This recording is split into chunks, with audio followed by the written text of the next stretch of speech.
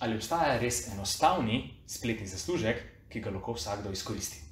Predstavljam enega največjih spletnih zaslužkarjev v Sloveniji, ki vam bo brezplačno pokazal, kako lahko izkoristite Solo Ads.